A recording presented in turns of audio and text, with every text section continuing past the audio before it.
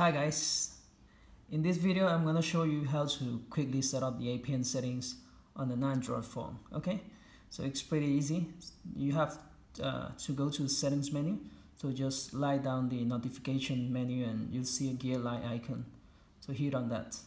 The other way to get into the setting menu is go to the, you know, menu and then look for settings. Once in the settings uh, menu, depending on the you know version of the phone you have uh, some brands have a different menu and also different version of Android. You might see it under wireless and network. Then you'll see something that says mobile networks. So just hit on that. And then you'll see access point names which is what uh, APN stand for. So I'm gonna hit on that. Then you'll see a list of APN settings you, you have on the phones um, in this case, I have a few ones created. Um, so I always recommend adding a new one. You don't want to mess with you know existing ones. So uh, just hit the add button and then you'll see uh, a few settings uh, you need to type in. Normally, if I go into, yeah, I'm gonna exit.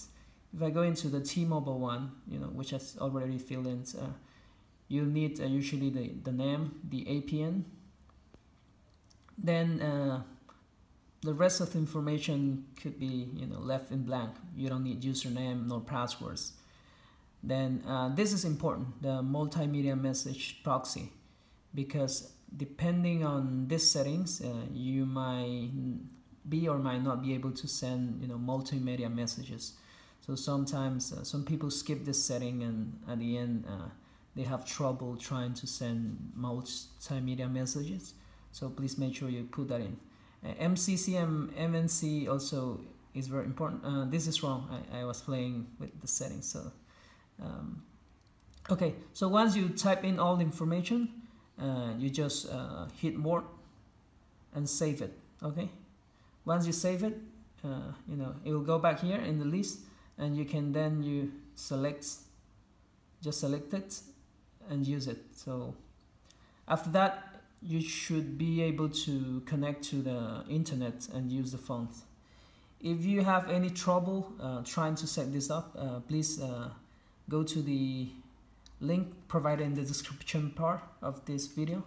And we have a complete article that goes into troubleshooting uh, you know all kind of APN settings issues. Uh, also if you don't have uh, the corresponding APN settings that you should use for your provider you know, call it uh, AT&T, T-Mobile, um, Verizon, whatever it is.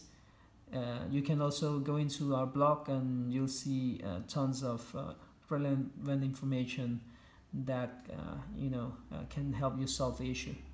Hope you liked the video. Thanks for watching.